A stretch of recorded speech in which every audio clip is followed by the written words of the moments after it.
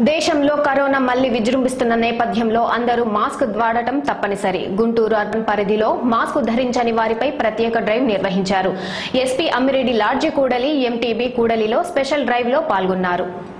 Large కూడలిలో Tulluru traffic CI Mallikarjunarao mask ధరించకుండా అటుగా వెళ్ళడం ఎస్పీ గుర్తించారు. వెంటనే సీఐని ఆగమని కరోనా వైరస్ వ్యాప్తి చెందుతున్న నేపథ్యంలో అందరూ తప్పనిసరిగా మాస్క్ ధరించాలని మీరు ఎందుకు మాస్క్ ధరించలేదని ప్రశ్నించగా సీఐ హడావిడిలో మర్చిపోయానని చెప్పారు. దీంతో తుళ్ళూరు ట్రాఫిక్ సీఐ మల్లికార్జునరావుకు ఎస్పీ అమ్మిరెడ్డి జరిమానా విధించి స్వయంగా మాస్క్ తొడిగారు.